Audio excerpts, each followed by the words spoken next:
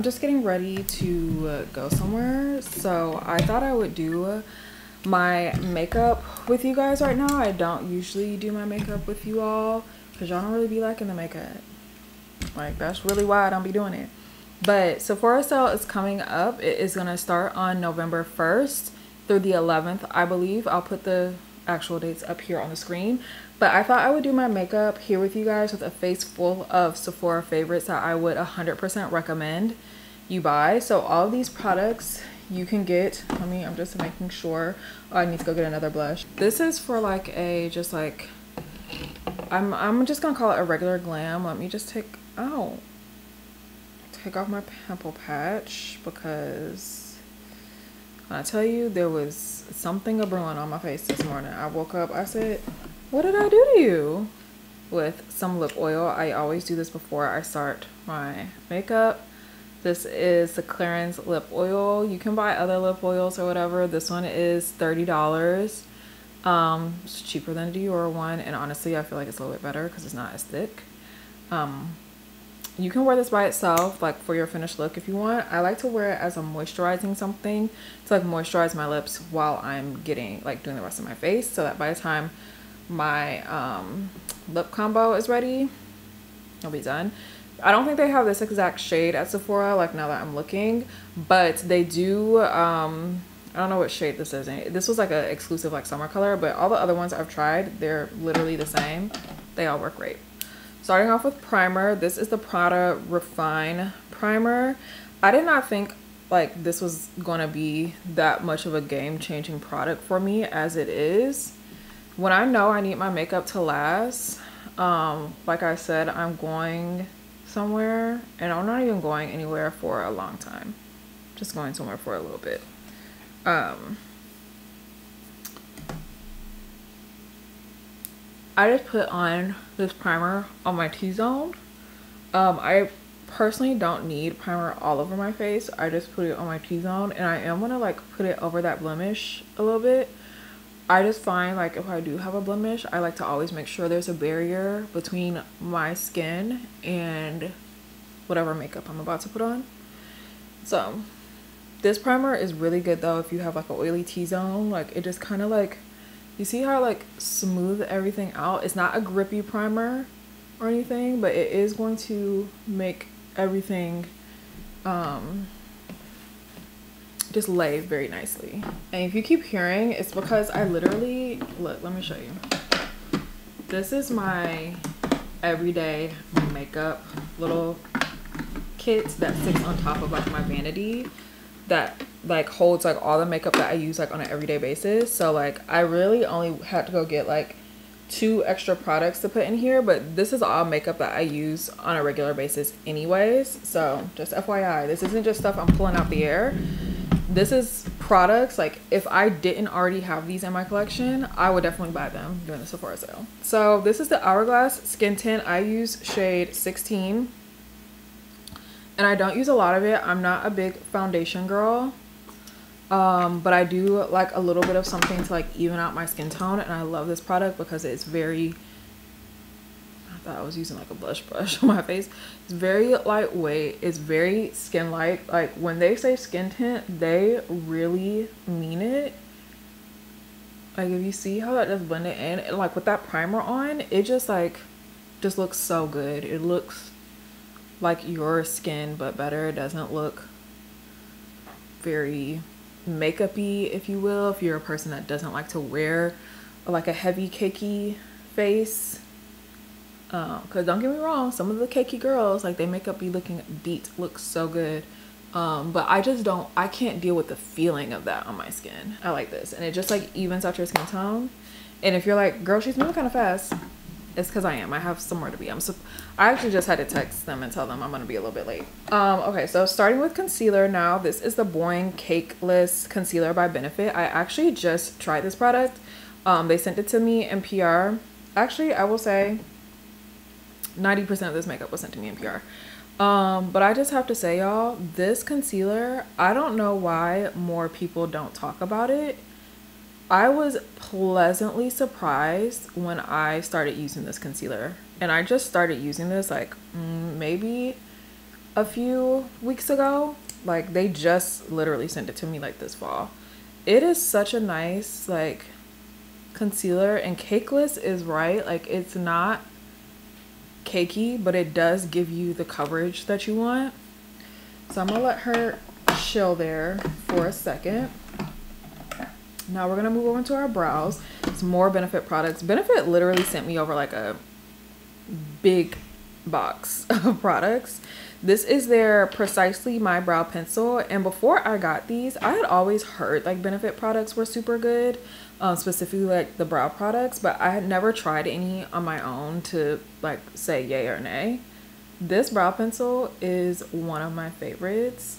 Reason being is because it is skinny, it's a small pencil, but it also doesn't take you forever to fill your brows. That's one of my biggest issues with like a lot of like the really small tiny brow pencils. Like they mimic hair, yes, like they they look so good and like precise, but it takes you so long to fill your brows. And then some of them are like super hard to where it's like um doesn't have a lot of color payoff. Like you have to press down really hard and it just does the job so effortlessly and easily. I really, really enjoy it. I've seen the Benefit Brow Light. Now, I'm not about to let them do my brows. Not saying I've heard bad things about it. I don't let anybody touch my eyebrows. but they do have brow services too, um, like at their standalone locations I've seen before. And I think also like at their, like if you go to like the counters, like inside of the department stores, like if they have a Benefit counter, um, I think they do them there too. I could be wrong. That's the first brow product I'm going to use. I'll use my second one later. This brush, in case anyone is wondering, is from, um, it's from Mented, which is not sold at Sephora. But I don't think this brush is available anymore, to be honest with you guys. Um, I just saw recently, like, I was a little concerned about the Mented brand for a second but I just saw recently, I think it was either on their Instagram. I'm, I'm pretty sure it was on their Instagram. They were talking about like we're back. So I was like, oh, okay. The brand took a little break, a little hiatus. I don't know. Maybe they're reformulating. I thought the Mented brand got bought by someone, but I could be wrong. But they were like on hiatus for a minute, like to the point where I thought that they weren't coming back. Like I thought they were going kaput. So we have the Saie um, Dew Bronze. Um, I'm trying to make sure that it's all products that like I'm actually like, no, I legit would suggest this to you. Um, and I use it frequently. So I'm just doing some dots around my forehead and a little bit on my nose too. I'm not so much into like contouring my nose anymore as I am just like I want a little bit of color on my nose. So have that. I think this brush is at Sephora as well. This is, um, no, it says it brushes for Ulta. Sorry. But try some of the Sephora collection brushes if you're looking to build up your brush collection. It is a very, very good selection that they have there. Um, and I feel like they are very good um, quality. Like I have a few of them and they have never like broken prematurely or like I feel like oh it doesn't last as long. Like I feel like they last a good amount of time and they like work really well. They blend out really well. So I would definitely try some of those. Gotta make sure you turn to the side when you blend in that forehead girl because sometimes you think you look right and then you turn to the side you see yourself in a picture and you're like oh my god. It's happened to me plenty of times. I'm going in with uh no I'm not going in with that just yet this cream blush from Bobbi Brown. It is their Pot Rouge. Uh, look at her. Like, she definitely gets used. I don't know if you can see, like, all the dirtiness around her. Um, she definitely gets used. This is just, like, a pretty, like, deep shade. Because some of us don't like, like, a bright cheek, which perfectly fair. And then some of us do like a bright cheek, but there is always a time that calls for, like, a deeper hue. Like, maybe you just want, like, a deep plum or something like that. Like you don't want like a bright, bright pink. This is very nice. But you can also use it on your lips too. So it's like for your cheeks and for your lips as well. Which honestly, I feel like you can do that with any blush. But I just feel like it's very nice. I like this color. I love the formula of it. Very nice.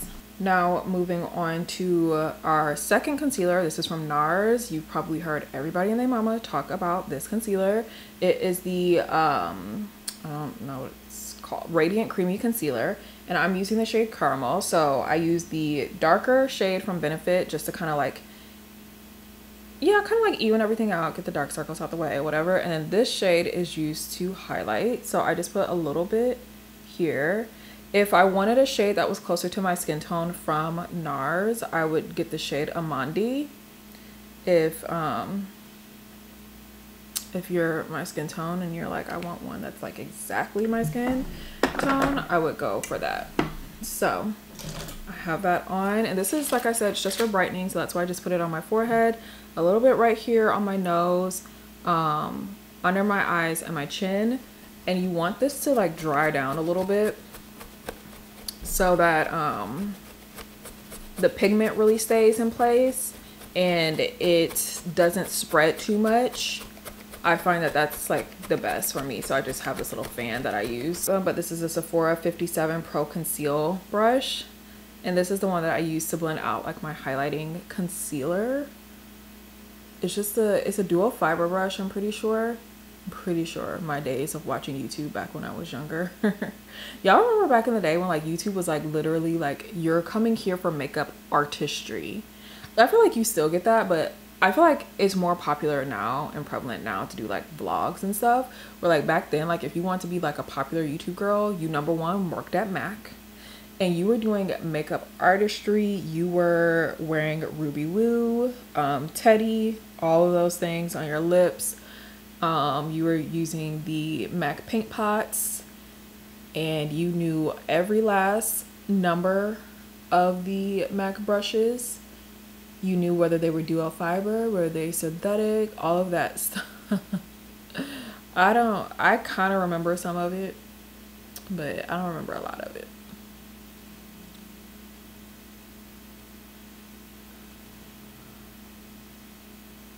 I'm supposed to be at this place at four. It's 3.35. I know I'm not getting there by four o'clock. We're moving, we're shaking. Now for um, setting powder. Always Laura Mercier. And this is their translucent loose setting powder tone up in the shade Rose. So it's a pink setting powder. Um, I really like a pink setting powder for my brown girls. Don't be afraid of it. But even if you're like, mm, that's not me, I think any of the shades of the Laura Mercier setting powder are good. Um, the only one that I do not use and I don't particularly care for on me is the dark one because I feel like it makes my under eyes look super duper dark.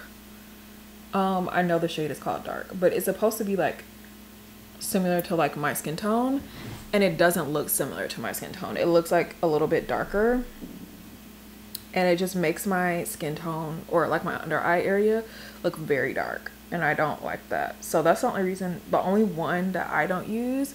If you're like fair skinned, I would say you could probably use that dark one low key a little bit like a, a bronzer or something. This is my favorite one right now. And my second favorite is the, um, the honey one which is like more of a yellow tone. Um now we're moving on to powder bronzer. So i usually do like cream bronzer cream blush and then powder bronzer powder blush. Just helps it last a little bit longer especially if you're going somewhere. But also i like to like kind of mix and make my own concoctions of like blush and stuff like that. So that's why i like to layer those two. Um and then for bronzer like i use a powder one on top after I've done my setting powder and everything because sometimes your setting powder can like wash you out make you a little ashy so this just like kind of like blends everything back together. So this is from Benefit. This is their Hoola Toasted Bronzer. I really like this one. Um, this is my first time trying it like when they sent it to me and I really enjoy it to be honest with you. So using that I'm just gonna put some on my nose. Like I said I just I've gotten out of using bronzer and like contour on my nose to like slim down my nose and I more so like it to like make it look more sun-kissed if you will. I really like that look. Now for blush, it's from NARS. I just, this is my first NARS blush actually. Um, I never had the orgasm shade. I didn't really see the hype about it. Like I went in store, swatched it. Like it just didn't do much for me personally. But this shade is a new shade from them that they just released earlier this year, I believe. It's called Dominant Pink. Yes. But when you put it on, it just like it's the perfect brown girl pink. Like it's gonna give you that pigment, but it's not crazy to the point where you're like, this is too much for me, or also like this is ashy. It's neither of those. Like for me personally, I love it. And I put a little bit on my nose too.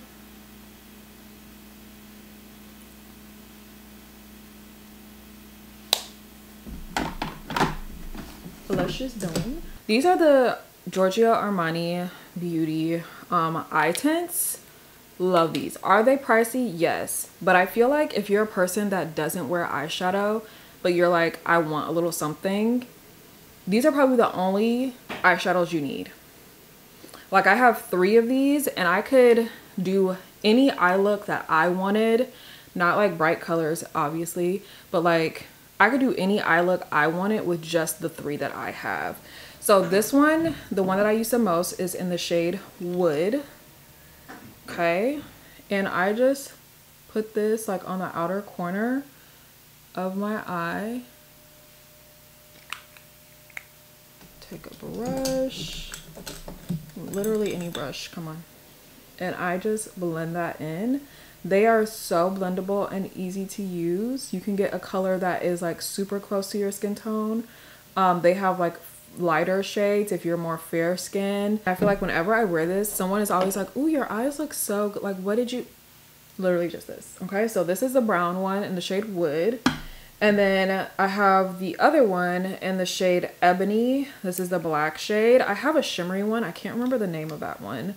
Um, but I don't really use that one that often. I use these two the most. Now for this Ebony dark one, I'm going to use this as my eyeliner and I like to smudge it out so nice. So I just, and you would think you wouldn't be able to do this with these because it's like a felt tip, like brush type of applicator. But I can get in here really close to my lash line without having to, um, without it being like too messy, basically.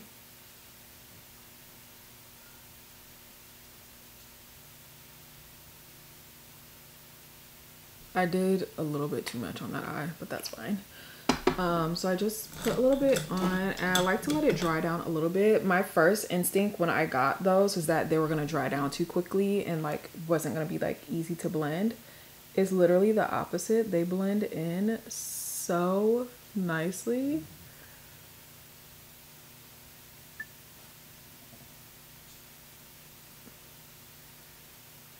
So nice. Look at that.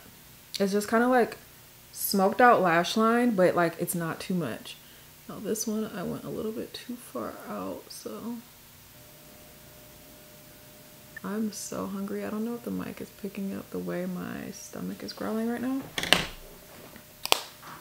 Most of my eyes, now I'm gonna use another eyeliner. I usually don't use so many, but I just wanna show you guys like all the products I really, really like. This is the Lawless Easy Eyes Ultra Precise Liquid Liner let me tell you, I graduated high school in 2010, so I was around for the liquid eyeliner boom when everybody had to have a cat eye with the liquid liner. Okay, I've used the best and the worst of them. This is the best one I've ever used. And I'm just gonna get in here really close to my lash line. Define it. If you want to do a cat eye, you certainly can. I'm not going to. Okay, we already had a little mess up over here. We don't need to be adding no more.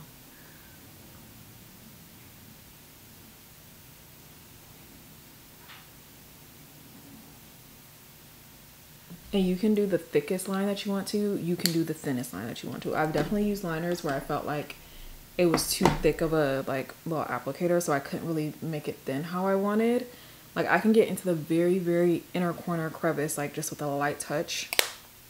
I really, really like that. So those are like three of my favorite like eye products. But then I'm also using this mascara from Lancome. It's their Hypnose Drama um, mascara.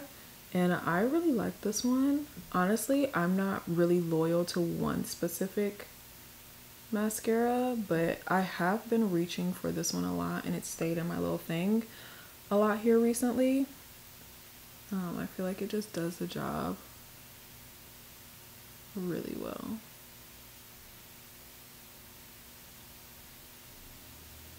This is the Saie lip liner pencil in the shade Tease. It's a, a dark brown. Love this. When I saw that Saie was coming out with lip liners, like we know them for like their pretty blushes. Um, they have like really good skin like products. So I was not expecting them to be dropping a lip liner. It's not too red either because some brown lip liners pull really, really red or like orangey and I don't like that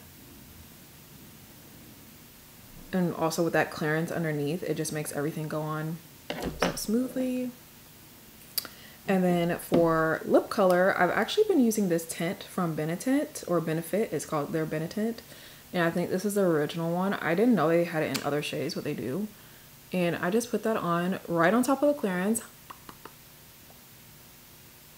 Um because remember I put that lip oil on before? And it just gives you like the most perfect like hint of color on your lips.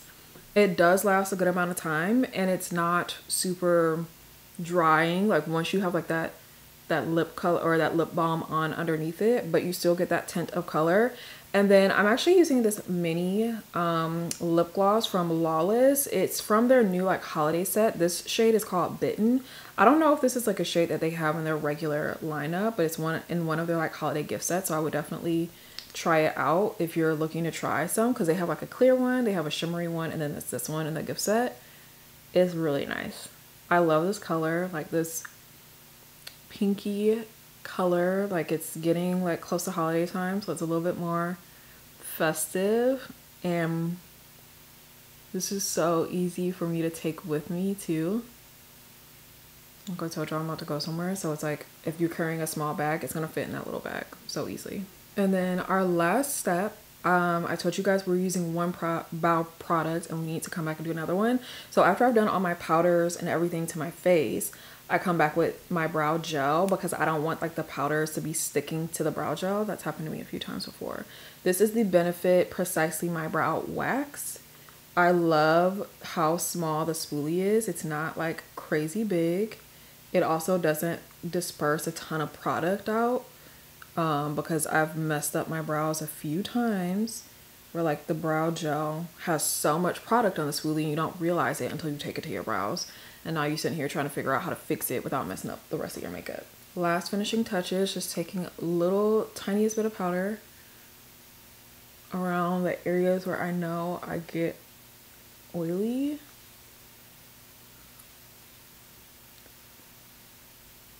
I know I just said like no more powder, but like I'm not like applying like a ton of powder still to my face. And then the brush that I was using for my powder bronzer, I'm just gonna use this around my face just to make sure everything's blended because we did that blush, um, we did powder.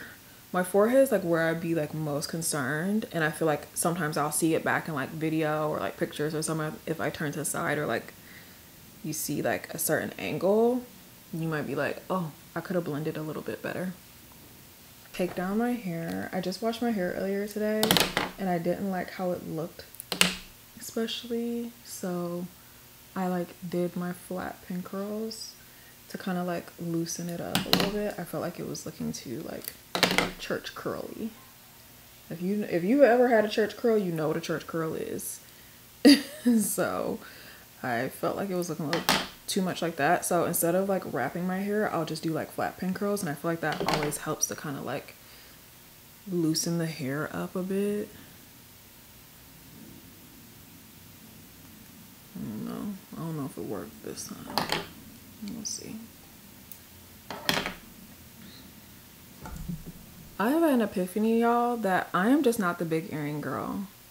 Like, you know how everybody's wearing, like, and don't get me wrong, they're so cute, but I just feel like sometimes it looks really forced and awkward on me.